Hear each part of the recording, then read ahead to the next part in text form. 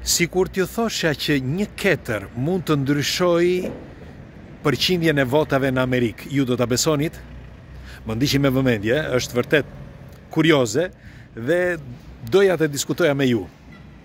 Nuk e di e keni ndjekur apo jo, në Amerikë ka ndodhur një incident i fortë, një incident që po flasin të gjitha gazetat, madje gjithë Amerika po flet për këtë, sepse para Pardje, ka ndodhur një aksident i policisë së shtetit. Atëherë, ta fillojmë nga ku nisi si problem. Një çift gjetën një ketër dhe e adoptuan, një ketër që ishte tashmë mund edhe të ngordhte, e morën dhe e adoptuan. Dhe me kalimin e kohës, këtë ketrin e mësuan, e mësuan që të bënte disa lëvizje, disa lojra, të komunikon. Pra ishte i mësuar mirë dhe u bë një personazh ketri në rrjetet sociale. Kaq personazh saqë kishte miliona uh, followers. Ë dhe çifti me kalimin e kohës gjetën edhe një tjetër kafshë që unë nuk e di tani kriçeto quhet në italisht, nuk e di në shqip, ë është si tip mi i vogël, Dhe edhe këtë ata e mbajtën dhe krijuan një lidhje, si mund të themi, qoftë me ketrin, qoftë edhe me këtë ë uh, me këtë kafshën tjetër që nuk e di në shqip. Dhe çfarë ndodhi? Me kalimin e kohës u bënë kaq të famshëm saqë nuk e keni idenë. Miliona njerëz flisnin për këta dy për këto dy kafshë dhe kishte miliona klikime në të gjitha videot. Por ç'ndodhi? Policia shkoi, pra është e freskët kjo, shkoi në shtëpinë e tyre dhe nuk shkuan një njeri për shembull i asistentëve të të kafshëve për shembull. Jo, shkoi një polici e tërë me 12 makina dhe me qindra ushtarë, kështu policë për t'i marrë kafshët këtyre në shtëpi. Nuk e di më kuptoni apo jo. Për t'u marrë një ketër në shtëpi dhe një kafshë tjetër dhe dy, dy kafshë të vogla, shkoi një polici e tërë, të armatosur deri në dhëmbë dhe shkuan që t'i marrinin, t'i merrnin këto ë um, kafshët. Pra, e para njëherë që pa një uh, si mund të quhet, një preavizo, një uh, paralajmërim. Pra s'kishte asnjë paralajmërim. E dyta, flasim për kafshë, pra duhet të ishte një shoqatë e kafshëve. Zakonisht janë një shoqatë kafshësh që të thonë që ti nuk duhet ta mbash këtë kafshën këtu dhe ne duhet të ta marrim. Pra shteti thotë kështu, ë? Sepse duhet të kesh leje. Nejse këto janë budallëqe sepse në Amerikë gjen kafsh nga të gjitha llojet, në të gjitha shtëpitë, por pyetja ime është pse ka ndodhur një diçka e tillë. Për ju, ju si si mendoni? E di që shumë prej jush do thonë tani Nadir, na thuaj ti. Doni mendimin tim, do jua them. Unë pres pak sekonda sa të mendoni ju, por do jua them.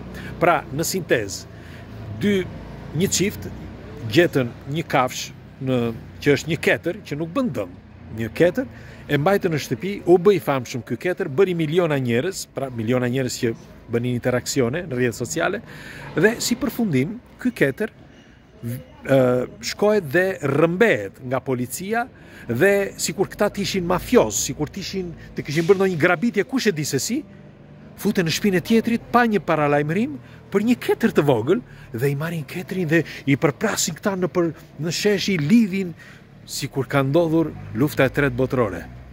Pra ju çfarë mendimi keni? Ë? Do t'ju pyes juve. Shiko, do t'ju them, mendja e njeriut është tepër delikate. Ju, ndoshta një pjesë nga ju nuk e kanë kuptuar akoma, por njeriun mund ta mund ta ndryshosh rrjedhën e e e historisë së tij apo rrjedhën e mendimit të tij sipas dëshirave, si të duash ti. Mjafton një gjest i vogël si ky, një gjest i vogël që është bërë i qëllimshëm për mendimin tim, që të ndryshojë mendimin e uh, politikës që gjendet tani, politikës së Bidenit dhe të tjetrit që gjendet tani në këtë periudhë. Sepse një Ketër i tillë me një aksion të tillë që ka bërë policia mund të ndryshojë përqindjen e votave. Pra përqindja e votave, nëse për shembull sepse ka bërë bujë të madhe. Në qoftë se 1 milion amerikanë, ë, 1 milion amerikanë zgjedhin partinë tjetër të Trumpit. Pikërisht sepse kjo partia e tanishme bëri një aksident kaq të madh. Ju do ta besoni këtë? Po. Bile nuk mund të jenë 1 milion, mund të jenë dhe më shumë. Sepse pse bëhen konferencat gjatë votimeve, këta këto mitingjet, pse bëhen? Mitingu pse bëhet? Bëhet për të mbushur mendjen njerëzve kush është më i miri dhe kush është më i keqi. Dhe gjatë mitingjeve përdorin pikërisht disa aksione të tilla. Dhe ky aksion nuk di tani, nuk mund të t'ju them tani që kush mund ta ketë përgatitur këtë aksion. Por është për mendimin tim është i qëlluar dhe është organizuar mirë, sepse siç ju thashë, mendja e njeriut modifikohet. Pra pëson një ndryshim, sepse uh, sipas gjasave, thuhet, sipas gjasave, kanë vendosur që të jetë Trumpi këtë herë, sepse, siç duket, ka rënë dakord për disa pika të rëndësishme të këtyre 33 treshave. Dhe këta 33 treshat i kanë dhënë lejen që ai të rri dhe këto 4-5 vite, sepse do t'ju përmbush disa nga pikat që ata duan, përveç pikave që Trump dëshiron që të që të parashtroj në momentet e jetës së tij politike të këtyre viteve në qofë se fiton.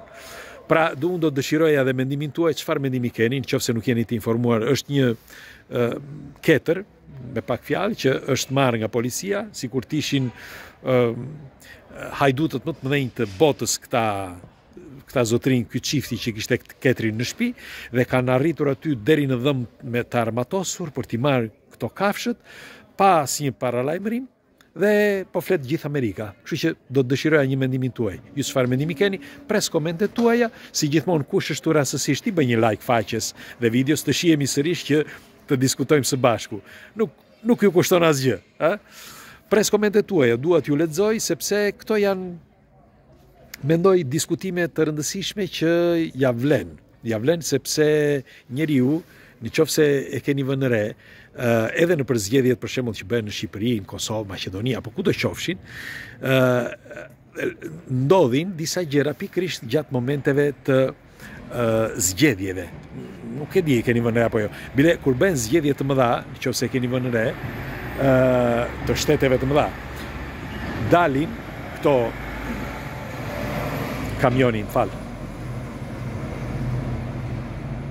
Dalin disa këto që janë ë pretendentët e rinj, ë dhe pyesin vënë në akt një Çështje për shembull si kjo, thonë kush do zbulojë çfarëdo lloj problemi të kësaj partie, ne ju shpërblejmë deri në iks para.